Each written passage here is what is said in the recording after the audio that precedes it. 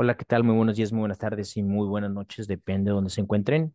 Pues vamos a continuar con nuestra serie de explicaciones sobre varios proyectos que estamos integrando de momento a nuestra lista. Yo creo que esta lista va a continuar creciendo y esta lista va a continuar con esta serie de explicaciones, pero el día de hoy le toca al proyecto Phantom. Vamos a hablar un poco del movimiento del precio.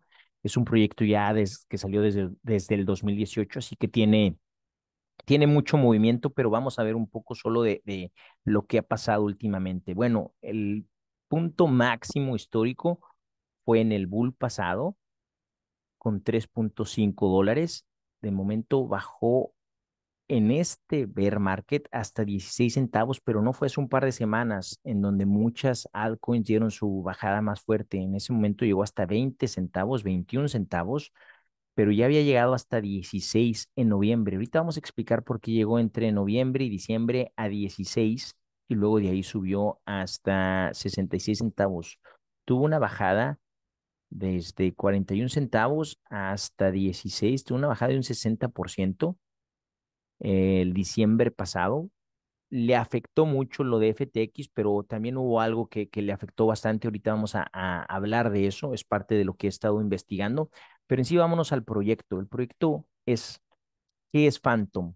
Es una capa 1, no es blockchain, usa una tecnología que se llama DAG y en un momento la voy a explicar más a fondo. Es eh, una, a su misma vez, es un proyecto muy interesante que a pesar que no es blockchain, tiene compatibilidad 100% con Ethereum, por eso lo tenemos en Metamask. Tengo un tutorial el cual voy a dejar también links de eso, pero lo pueden agregar a Phantom Opera, aquí está, lo pueden agregar a Metamask y a su misma vez eh, tiene proyectos muy interesantes en DeFi, muy parecidos si estuviéramos operando en Ethereum o en Binance Chain, ya que usa esta tecnología que la hace compatible con todo lo que viene siendo los contratos inteligentes de Ethereum, ¿ok? Bueno, el fundador fue el doctor An Byung-ik y Michael Kong. En el 2022, el doctor Ang Byung-ik, no sé si lo pronuncié bien, pero en el 2022 se salió, más no hubo gran auge, a pesar que uno de los fundadores se salía. Y parte del por qué se salió es porque esta red o esta, este proyecto nació ya en una fundación. No hubo compañía Phantom y después Fundación Phantom. Todo empezó en una fundación que está e, en eh, Singapur tuvo tres rounds de inversión eh, para VC Capitals, para inversionistas con capital, juntó 70 millones de dólares y todo eso se reportó bajo una fundación sin libre o, o libre de lucro en Singapur. Y con todo lo que está pasando de regulaciones, de reglas, de todo eso, el fundador decidió salirse, mas no hubo tanto auge porque en sí el proyecto empezó a enfocarse mucho en DeFi. A su misma vez, Andre Conch, un especialista en DeFi, se unió al grupo o se unió al proyecto eh, Phantom y empezó a traer muchos proyectos DeFi. Ahora, Andre Conch es el creador de Yarn DeFi o DeFi Yarn es una, es una plataforma que tuvo mucho éxito en Ethereum y en el momento en el que empezó ya a enfocarse en DeFi en sí, en la red Phantom, muchos proyectos como Sushi se movieron, como Curve, y también muchos proyectos como Spooky Swap, como, ahorita vamos a hablar de todos, pero muchos proyectos empezaron a, a crear en Phantom. En sí se empezó a poner en la categoría de una red que se enfocaba a DeFi o solamente en DeFi y cuando todo lo que venía siendo el farming o el farmeo tuvo una explosión, la red creció bastante. ¿Ok? Ahora, regresando a lo de los rounds semilla, tuvo 70 en tres rounds con tres inversionistas, uno de esos es Hyper Capital, pero en el ICO tuvo 39 millones fue en el 2018, el ICO, como lo comenté, juntó más de 100 millones de dólares entre los rounds y el ICO.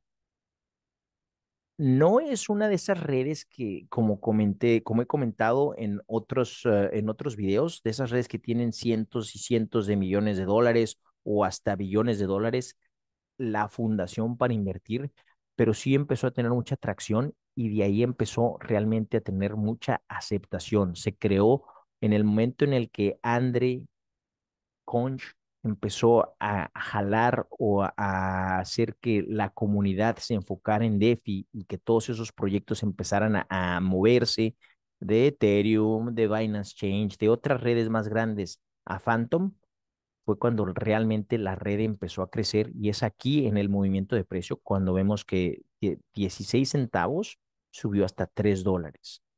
Ahora, del mismo Andre, aquí en el 2000 22 en agosto fue cuando él le dijo adiós al proyecto.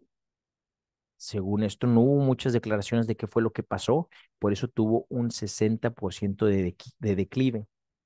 Aparentemente tenía mucha presión y quería descansar y dedicarse un rato a su familia. No hubo muchas declaraciones, no encontré nada, pero después vemos que en diciembre subió de 16 centavos a 60 centavos, tuvo un 200% de crecimiento, porque fue cuando Andre, el mismo que creó todos esos proyectos, que fue uno de los, de los prácticamente principales, uh, de las principales voces de Phantom, regresó en, el dos, en, en, diciembre de 2023 y tuvo toda esta atracción nuevamente, tuvo un 250% de crecimiento, 260 casi. ¿ok? Hoy en día está Andre de regreso y él sigue en lo mismo, enfocado en DeFi. El mismo en diciembre, 26 de diciembre fue cuando regresó y él mismo dijo que se iba a enfocar a seguir en, lo mismo, en DeFi y que las aplicaciones que estaban vigentes crecieran y propusieran más. Pero a su misma vez, ya que había llegado a un punto tan bajo, el fundador Michael Kong, ya que se había salido solo el doctor An, Michael Kong, que es el presidente o el CEO, dijo que quería enfocarse no solo en DeFi, pero en otras cosas más también. No ha habido nada fuera de lo de DeFi que tenga tracción en Phantom, pero ahorita también tocamos en lo de, en lo de riesgos, que es lo que ha pasado. Ahora vamos a hablar un poco de, lo, de la tecnología que corre en Phantom. Es una tecnología que se llama DAG. Lo más parecido que hay no es blockchain, es una, una tecnología más rápida ya que los bloques no se tienen que compartir completos entre todos los nodos, es prácticamente solo parte de. Lo más parecido es Hadera o HBAR y IOTA. IOTA sigue aquí, mm, o ya se fue. IOTA aquí en el 81 se ha convertido prácticamente en una, en una red fantasma, pero bueno, esos usan la misma tecnología, pero a su misma vez, como han tenido un, unos desarrolladores prácticamente o un equipo de desarrolladores de punta, al parecer tienen más de 40, que son bastantes para un, grupo tan pequeño o una organización tan pequeña. Tienen más de 40 y aquí se puede ver, son cinco, cinco ejecutivos, pero más de 40 desarrolladores. Mm, no recuerdo dónde está, pero, ups, pero bueno, este, hicieron eso posible, la compatibilidad entre Ethereum y el mismo, y, el mismo Phantom, aunque no sea blockchain. Ahora, el mismo DAC tiene sus problemas, es más rápido porque no se pasan toda la información, pero tiene que estar hasta cierto punto por la misma naturaleza de la tecnología centralizado. Como pueden ver aquí de valida validadores, hoy en día en, en el FTM Scan tienen 60 validadores. No pueden tener más de 100 o no están preparados de momento para tener más de 100. Y a su misma vez, también eh, una limitación es, si alguien quiere ser validador, tiene que tener más de un millón de Phantom. El día de hoy, con el precio que está en 30 centavos, son aproximadamente 300 mil dólares. ¿Ok? Si alguien tiene un validador, es aproximadamente 6.5% anual. Pero si llega a haber algún problema, si alguien quiere hacer trampa con las validaciones o si prácticamente quieren hacer validaciones falsas, le quitan 100% de lo que tenga el validador.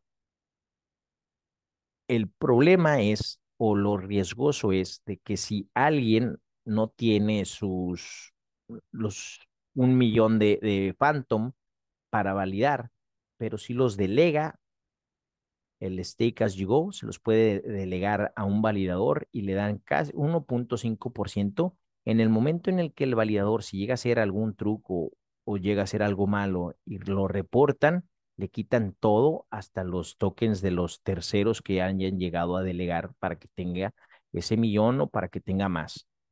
Así que eh, lo considero eso bastante riesgoso de momento, pero es, es lo que es como se maneja la red. A su misma vez eso lo hace más segura, ya que ninguno va a tratar de hacer uh, validaciones falsas. Le quitan el 100% de lo que haya. Ahora, Phantom, cuando empezó, querían llegar a 300 mil transacciones por segundo, pero se enfocaron en el EVM, Ethereum Virtual Machine, es lo que lo hace compatible con MetaMask y hace que prácticamente cuando uno esté operando se parezca tanto a Ethereum o a, Binance Chain. Pero al hacer eso, la red solo tiene 4.500 transacciones por segundo. Sigue siendo bastante, bastante bien.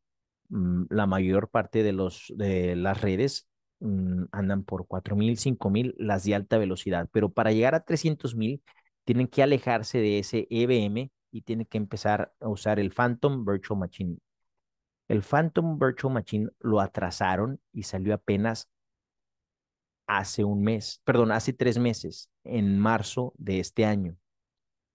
Aparte de eso, tienen que empezar a adaptar todas sus aplicaciones, todas sus aplicaciones DeFi, que ya, la ya que la mayoría son DeFi, o digamos un 90-95%, para que usen el FPM o Phantom Virtual Machine. Se supone que no va a ser nada difícil y va a ser transparente, pero todavía no se ha anunciado cuándo o cómo lo van a hacer.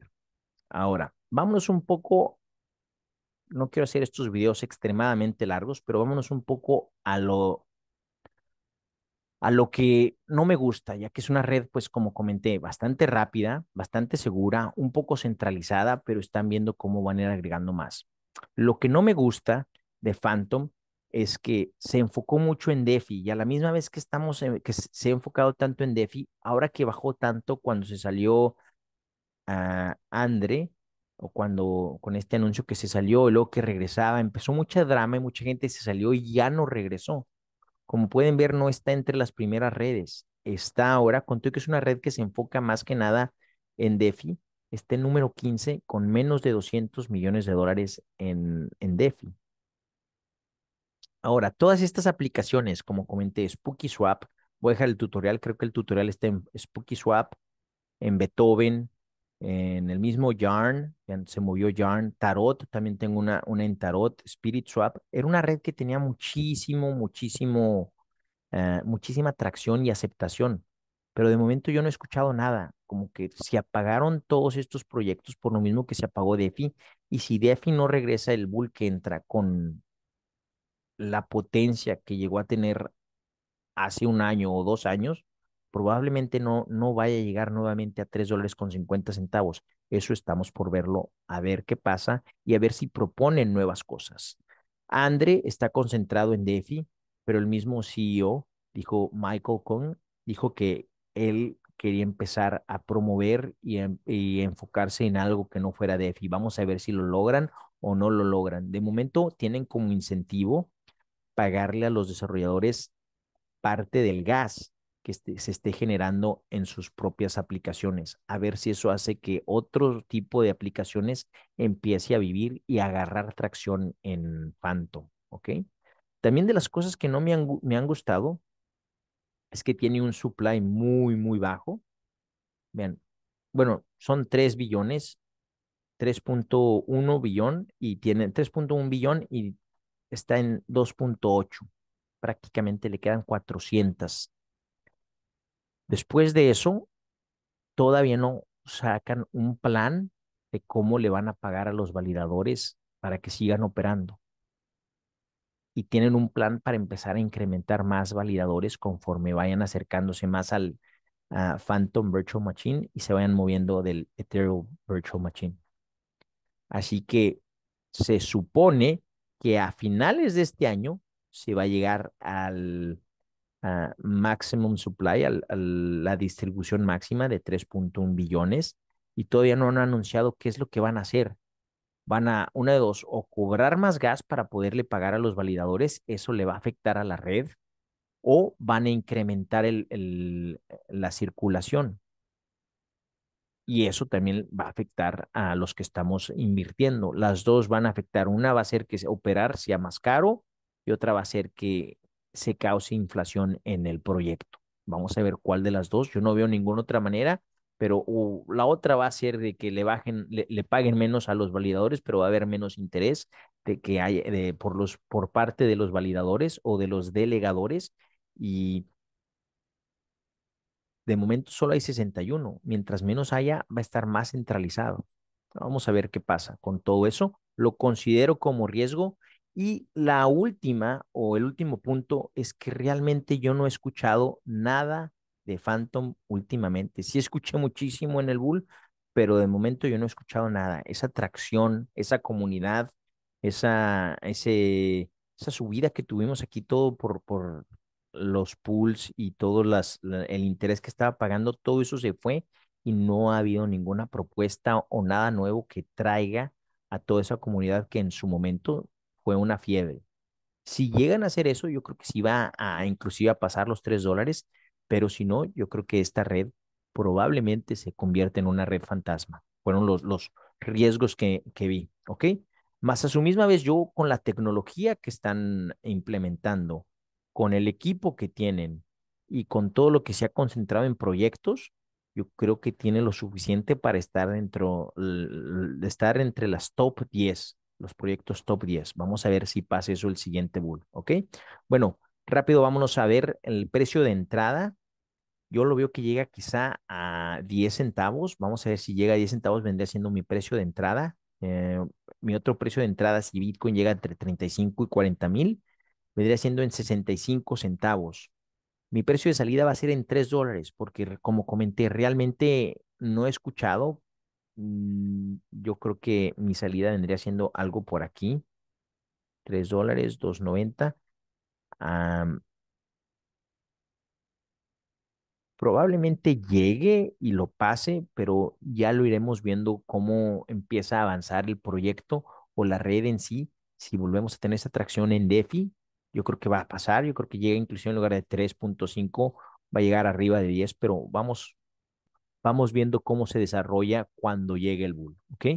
Mi otro punto de salida vendría siendo cuando llegue Bitcoin a 140 mil, cualquiera de las dos cosas que pase primero, 3 dólares o 140 mil. La inflación realmente es baja. Pensé que era media cuando hice este, pero es baja. El riesgo es alto. Como comenté, es una red que no hemos escuchado nada últimamente. Sí ha tenido mucha atracción y sí tiene una comunidad bastante grande de momento, pero no se han escuchado nuevas propuestas, no se han escuchado nada nuevo, al contrario, como mostré aquí, um, DeFi, que era lo, o es lo principal, ha bajado bastante. Estábamos en su punto máximo, había casi 8 billones de dólares y ahorita tiene menos de 200 millones de dólares. se puede ver que realmente esa atracción se fue. Ok, bueno, eso vendría siendo todo. Bueno, para cerrar es lo, de siempre. Yo si, si llego a entrar, voy a entrar de uno a dos años. Eso vendría siendo todo. Mañana continuamos con otro video. Le toca a Sui y después a Kusama. Vienen esos videos. Más recuerden, esto no es para que entren, es un, solo un video con fines de educación, fines de información. Si a alguien le interesa este proyecto, por favor, vaya a la página de internet, entre la comunidad, haga preguntas infórmese y tomen sus propias decisiones, ¿ok? Nos vemos y por favor, cuiden su dinero. Hasta luego.